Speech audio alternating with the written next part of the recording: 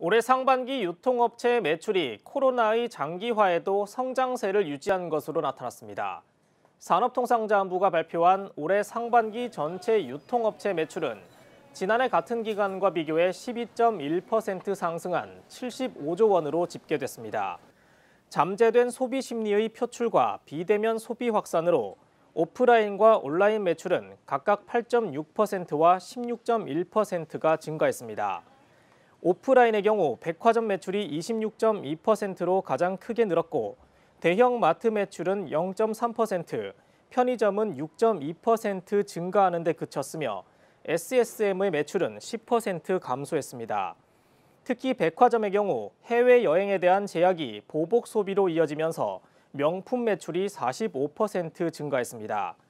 한편 온라인 매출은 비대면 소비와 온라인 장보기 증가로 대부분의 상품군의 매출액이 늘었으며 음식 배달 수요가 급증함에 따라 서비스 기타 매출이 40.4% 증가했습니다.